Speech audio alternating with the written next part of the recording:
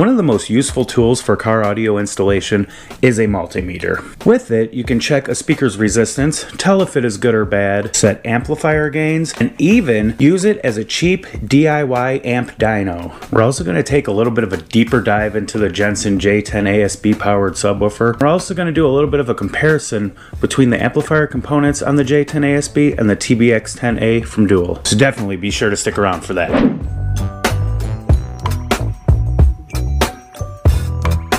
What a multimeter does is it actually uses the electricity from its own internal battery to monitor and measure the different characteristics of electricity. For example, if we turn the dial to the omega symbol, which pretty much looks like an upside down horseshoe, we can measure a speaker's resistance, or the ohms of the speaker, which is how speakers are rated. Also, if it reads open or jumps around erratically, that's a very good sign that you have a bad speaker. Fun fact, the human body has 1,000 to 100,000 ohms of resistance, I check in at about 1.5K, and it can even go as low as 500 ohms internally.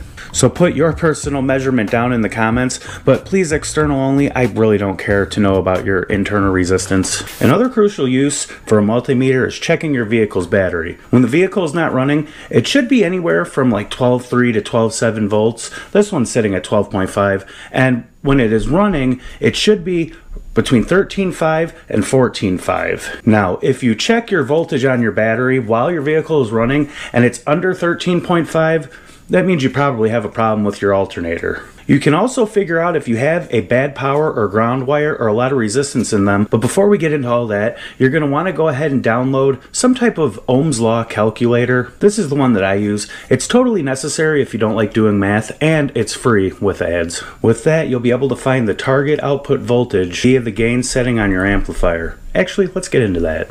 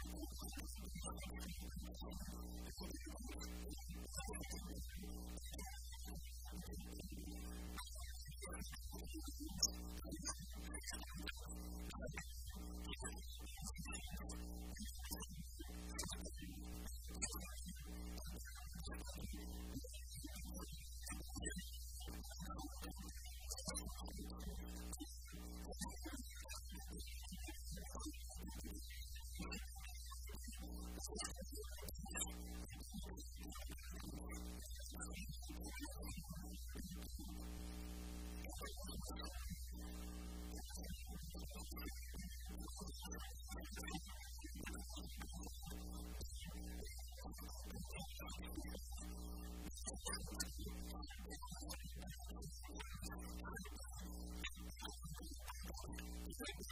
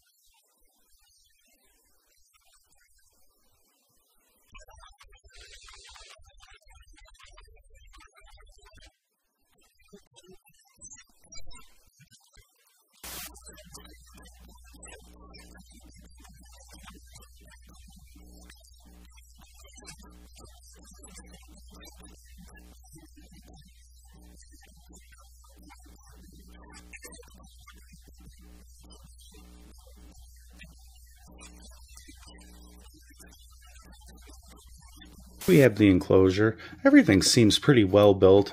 They seem to use a lot of glue, which I'd rather them use too much glue than not enough. The driver seems to be pretty substantial. Honestly, it's got a big chunky magnet, kind of a standard plain Jane spider, but it seems to be pretty stout.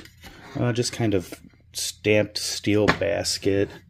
Uh, not exactly sure. It's a rubber surround.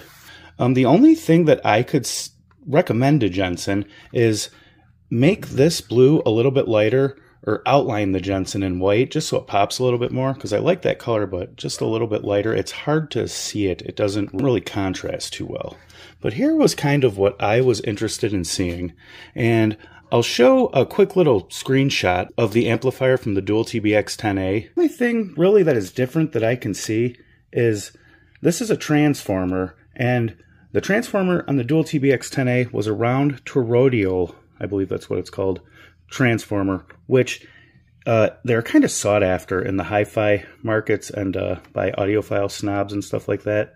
So I think they might be a little bit of a cleaner power, but I don't think they make quite as much power.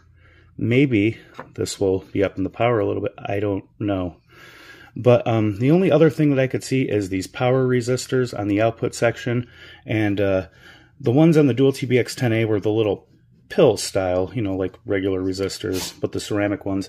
And this one has the standy uppy types. Pretty much everything other than that looks pretty much the same. I believe these are the rail caps. Those are the same. Uh, the supply cap looked to be about the same. Those could be flipped too. I'm not really sure.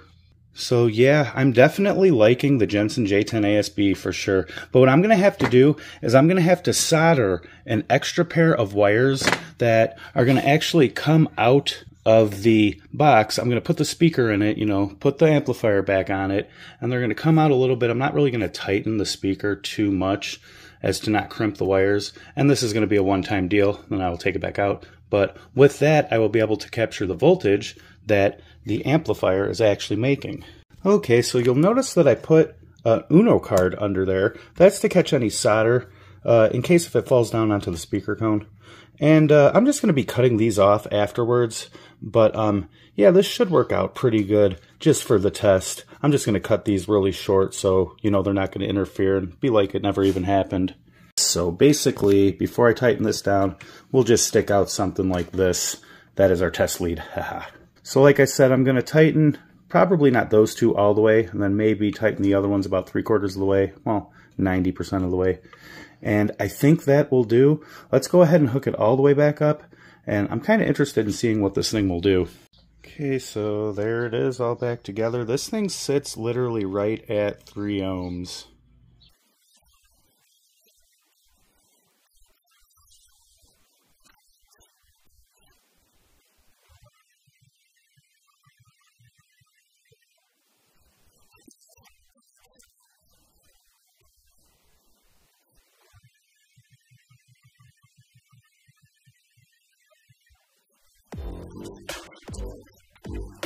All right, so 24.8 volts at 3.2 ohms, we actually come up with 192 watts of power. Now, that was not with the gain setting all the way up, but it was with it uh, probably about three quarters of the way up, so we could still go down a little bit. But what I can do now is take my same voltage and actually find my target voltage for what it should be and then slowly lower my gain until I reach that. So Big D from Molson Audio, check him out up here, actually did a video on the Dual TBX 10A and did a proper amp dyno on it. And if I remember correctly, it did somewhere around the rated power for continuous power, not max power. Maybe if we ask Derek very nicely, he will uh, actually get a Jensen J10 ASB and do a proper dyno on it. You check out that video, tell him Blown Capacitor sent you. So one last thing before we leave and something that I didn't really go into that I said I was going to is your power and grounds for your vehicle as well as your power and grounds for your stereo system. Now the voltage that you get when you take the voltage measurement at your battery should be the exact same voltage when you take it at your amplifier leads where your amplifier is. If the voltage has dropped a little bit, that means a couple different things. It means you could have a bad ground, or it means that you could have resistance in the wire via corrosion. I was actually kind of thinking about doing a separate video on that entirely. Uh, let me know in the comments if that would be something that you'd be interested in. But for now, I think that's about all I got. Thank you guys so much.